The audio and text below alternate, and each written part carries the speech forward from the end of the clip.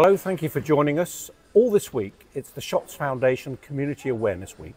We're going to be out and about, um, visiting some of the places, meeting some of the people behind the community initiatives that Shots Foundation are involved with, with Aldershot Town Football Club.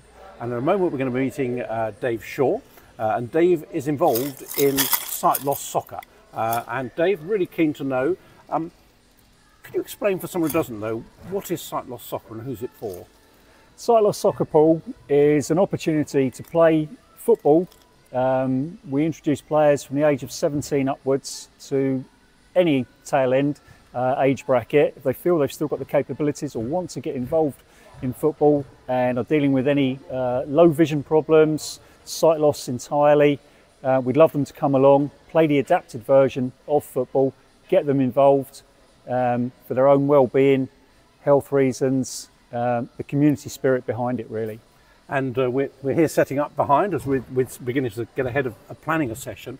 Um, uh, when, when do the sessions take place? And where, where uh, obviously we're here at the Aldershot Garrison Sports Centre, uh, so that's a great venue to be having the event. What time and how often does it happen? The sessions are run on a monthly basis. Uh, it's generally the first Monday of each month, and they run from 5:30 to 6:30. And there's some different versions of the game because we're here rattling this uh, the ball here. Yep. Um, but but depending on uh, who's here, you can adapt the game slightly as well. So it's it's open to quite a wide range of uh, people who might want to come along and play, isn't it? Very very much so, Paul. Uh, we've gone with the approach that we want to make it as much pan disability. So not only covering players that are dealing with sight loss issues, but if they might have other medical issues or disabilities, we'd love to encourage them to come along and give it a try and adapt the game in ways that is favourable for all parties taking part. Now you're a big shot supporter, so it's nice you're able to wear the shots badge on your shirt and play football. Oh yes, uh, something shots. I dream of. Um, and you're a big instigator. You've been behind this program, so just tell me how it came about and uh, where you are now with it. Firstly, for me, uh, on a personal level, um, I had to give up football probably 25 years ago um, as being my main sport. There weren't adaptive versions around at that point in time. Um, I was seeking local football opportunities through groups like British Blind Sports, Sport Active, and the FA, um, but was unable to find anything in the local area. So, with the help of the club and the foundation, um, we set about looking to bring something to the local community, and our sessions have been running for just over a year now. And does it help having that um, association with, with the football club and with the Shots Foundation? The behind the scenes benefits of having a large org- organisation like the club itself, um, their brand, particularly with the run that they've had this year, and the, the awareness promotion, that the club is promotion getting. chasing Aldershot Town Football Oh, Club. yeah. very Yeah. much so. Yeah, but that actually helps as well. Yeah. Definitely. You know, w- without that name, um, you know, as a small group, it may have been far more difficult for players to potentially find us. So, you know, we're grateful to the club with everything that they've offered to us so far. A- And apart from the obvious benefits of, of being able to play football still, what, what, what other impacts do you, have, do you think it has on the actual participants in terms of the, the, the wider sort of social inclusion? There's a, there's a huge um, health benefit to anybody that's um, uh, you know able to still be involved with sport. So you've got the health implications, you've got the mental health awareness aspect to it, you've got the belonging, feeling part of a community, that type of thing, and then new friendships and benefits that you can make from there by being associated. So it's you know a wonderful experience for anybody to to get involved with.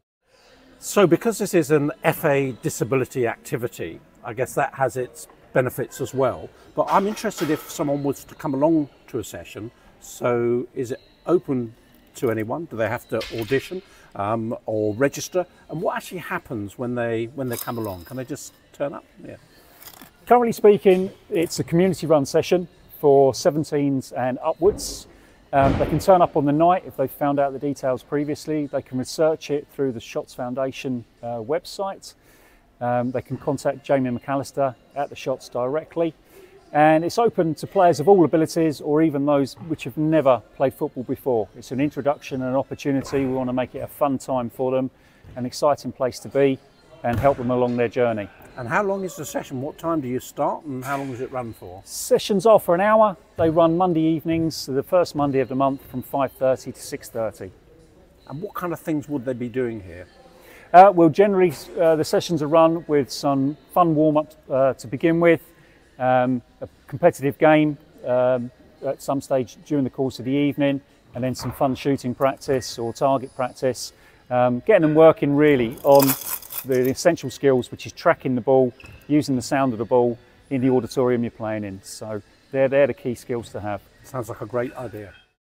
And sponsorship is also a really important part to, to make to enable you to be able to play. I know that um, Western Automation uh, have pro- provided funding, so you've got your own specialist kit and footballs, which you you've been having to borrow up to this point.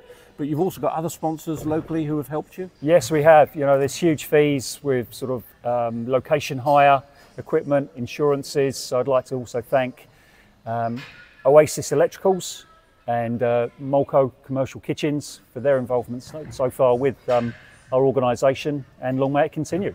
And finally, um, what, what what would you hope to see in the future? What, where do you think this could go?